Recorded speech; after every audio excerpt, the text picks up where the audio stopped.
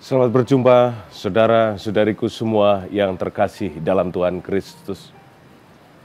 Semoga Anda hari ini di hari Selasa tanggal 20 September 2016 Anda dalam keadaan baik dan bahagia. Hari ini gereja merayakan peringatan Santo Andreas Kim Taikon, imam dan Paulus Chong Hasang serta kawan-kawannya martir dari Korea.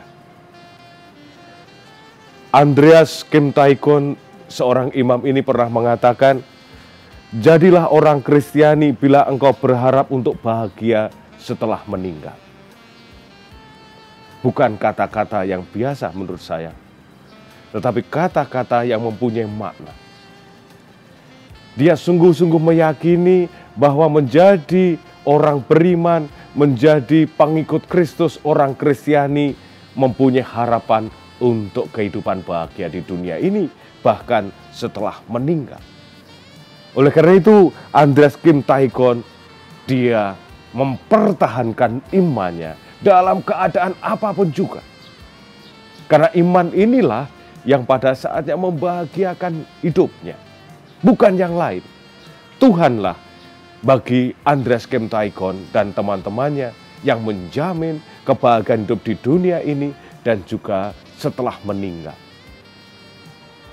Oleh karena itu, ketika diancam untuk dibunuh sekalipun, mereka tidak takut.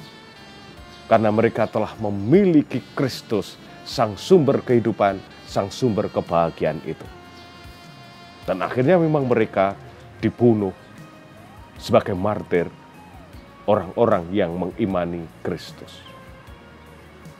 Dari Injil juga kita mendengarkan bahwa yang berbahagialah adalah orang yang mendengarkan sabda Allah dan melaksanakan.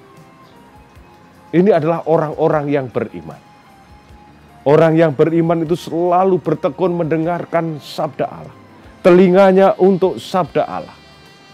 Mulutnya untuk sabda Allah. Kakinya untuk sabda Allah. Tangannya untuk sabda Allah. Dan semuanya untuk sabda Allah. Dan benar, saudara-saudari, jika keseluruhan hidup itu demi sabda Allah dan pelaksanaannya, maka orang akan mengalami kebahagiaan yang dijanjikan oleh Tuhan. Saudara, saudariku yang baik, semoga hidup beriman Anda dari hari kian hari semakin kokoh kuat seperti para martir yang kita rayakan hari ini dan dengan demikian saudara-saudari juga bahagia di dunia ini sampai bahagia di masa yang akan datang. Tuhan memberkati Anda. Amin.